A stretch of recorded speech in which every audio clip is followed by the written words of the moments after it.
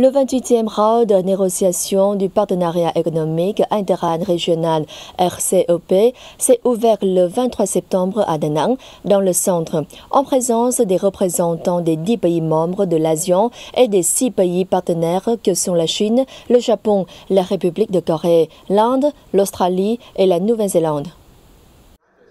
Les pourparlers entrent dans la phase décisive et toutes les parties se doivent désormais de faire preuve de flexibilité pour aboutir à un accord en 2020.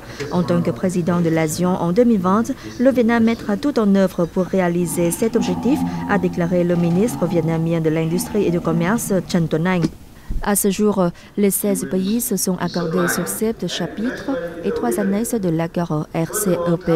Le 28e cycle est la dernière rencontre. Nous devons donc obtenir un consensus sur le commerce et les conditions d'investissement. Il est prévu que les dirigeants des pays négociateurs se rencontreront début 2020, a-t-il encore indiqué.